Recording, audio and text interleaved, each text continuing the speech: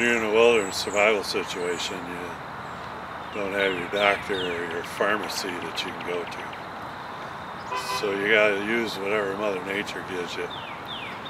And uh, a lot of times those plants, you know, we talk about different kind of plants, some of them, and uh, those are useful. But what about in the in the late late fall and throughout the winter and very early spring when there isn't any plants up?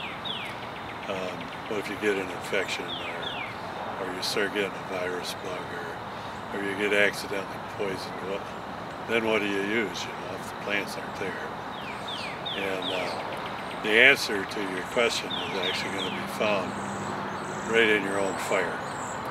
And uh, what you're going to do is you're going to douse some of your fire and you're going to pull out a piece of char. And uh, this char is going to be your answer because what you're going to do is stone and you're going to scrape that, make a powder. That powder is very useful.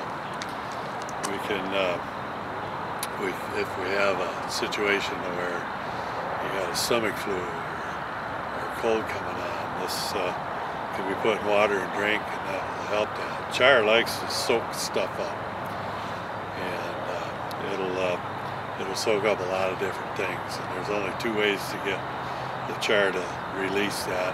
One is to finish burning it the other is a, a plant root touches it and there's a reaction could go on between the two and then it'll give it up to the plant. But otherwise it hangs on to it once it does that.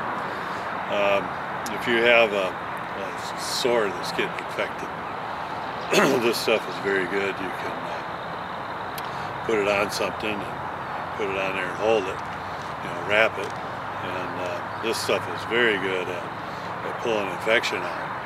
Um, there's times when I'll get infection in my nails right here in the ends.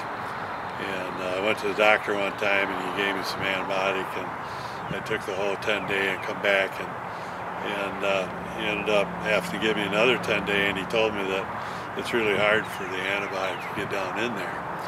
Well, since then when I get one of those I, uh, I go ahead and I have some charcoal patches. I just put a little chunk of charcoal patch on there and uh, in two days it's gone. So, you know, this stuff's really good, you know, for a lot of different things that'll draw quite a ways down in. So if you got an infection start, this stuff's good stuff, you know. Um, if you don't have band-aids, then who's going to have band-aids when you're in a survival situation? But one of the things that uh, there are actually three different fungi that grow on white birch that's useful to us in a survival situation. And over in the fire section, you'll see the horsehoof fungus, which is a shelf mushroom.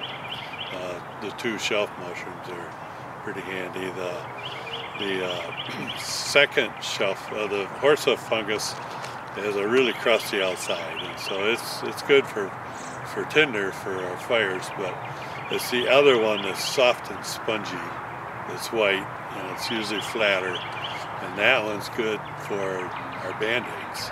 And that soft, spongy top, you can kind of cut a rectangle out of it. You can peel that top piece off and that can be used for Band-Aid. And uh, you can sprinkle this char on it and then put that right on the spot and then wrap it and that works pretty good. So, you know, this char is really good. That's a good piece to know if you don't have plants. And you can even use it when there are plants out. This stuff is pretty powerful stuff. And so uh, it works internal and it works external as well. And so char is something really good to know in a survival situation.